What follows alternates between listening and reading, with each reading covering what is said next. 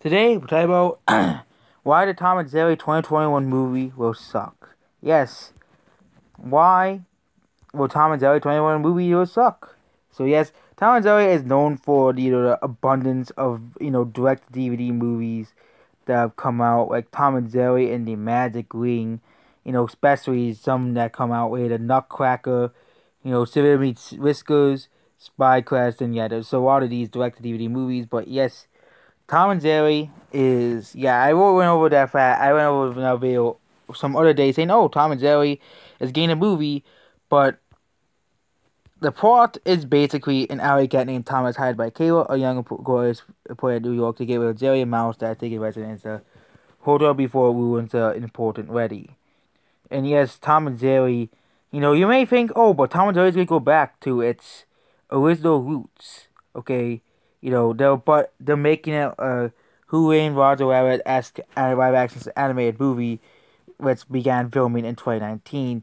And yes, there'll be those people who will play this movie. Oh my God, 2D animation is back. It's kind of like another movie called, you know, Mary Poppins Returns. You know, all these, you know, Disney, all these, you know, people who only review animated movies called it a masterpiece because it was 2D animation in the movie. Which again, considering that the uh, this is made made by the same people who plot the same animation studio who made Scoob, I have no hope for it because Scoob was not a good movie. I have not seen Scoob, but uh, but considering that a lot of people hated Scoob, that it does deviate from its source material a lot, and considering that if you've seen a lot of newer Tom and Jerry cartoons, newer shows, the Tom and Jerry shows are not as funny as they used to be.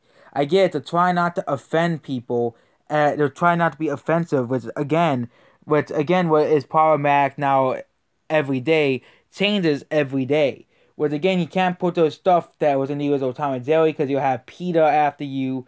Oh my God, Tom is being cut up in a Tom and Jerry cartoon. We can't have that, even though that's what the whole point of the show is. Or Tom's, you know, nose turn into like you know a, you know, hey, you know, all that funny stuff in the original Tom and Jerry. You know, and yeah, it sounds like Tim Story's, recurring collaborator, and Christopher Warren so set to compose the score of the movie. And yes, this movie has been announced that they're making it. And yes, forerunners of the movie. And yes, it's gonna be another one of those live action animated movies, which I don't know why is it considered a movie genre in itself, because they're using C- CGI in the movie. It's not even a film genre.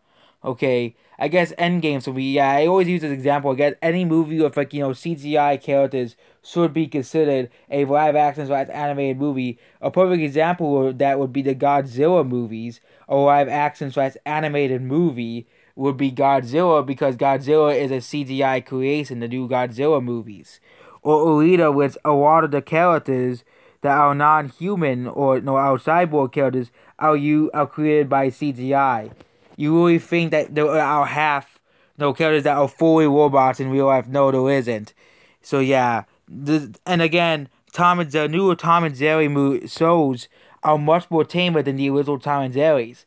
So it won't be as great as the original Tom and Jerry's. And why would I, I want to watch this over the old Tom and Jerry show? Why would I want to watch this over the old Tom and Jerry show?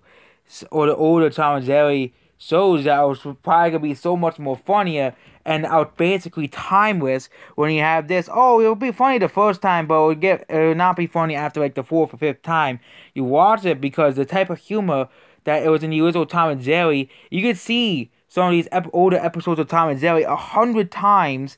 For example, there are many episodes that I probably could see, probably have seen hundreds of times, probably over a hundred times, and still find them funny. That is the that because the humor in the original Tom and Jerry shows, except for Blue Cat Blues and some of the less funny classic less funny ones.